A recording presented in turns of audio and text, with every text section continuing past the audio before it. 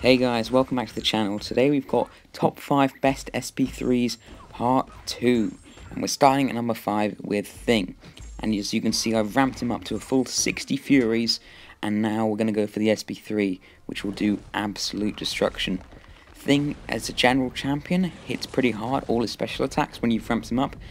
And with a full Cosmic team, he hits even harder. Now at number 4 we have Captain Marvel Movie.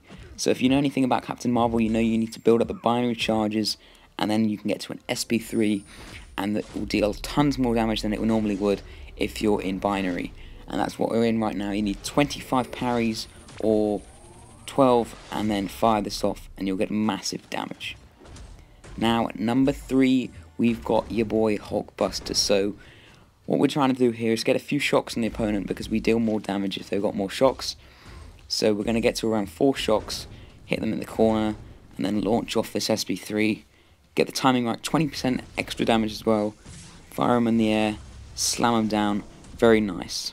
Now at number 2 we've got Captain America Infinity War, who activates Fury when he charges a heavy, and when he parries, depending on what synergy he's got, depending on Cosmic, Mutant, Skill, Tech, which classes he has specific debuffs which are placed on the opponent. As you can see right here, we've got Petrify, we've got an Armor Break, we've got a Weakness, so we've got three different synergies working with here.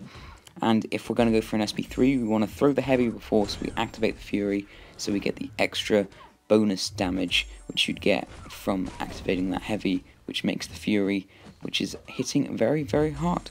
So we're just charging up, as you can see, we've got the SP3, throw it off, that does quite a bit of damage. But at number one, we have fully ramped up Star-Lord. Well, not fully ramped up because we can't fully ramp him up because we're going to kill Winter Soldier if we go any further. However, we've got to nearly 200 hits, and as you can see, we're hitting very, very hard. 5k crit mediums, pretty nice. And now we're just going to get to the SP3, which deals tons and tons of damage when you get over the like 150 hit mark, as you'll see here.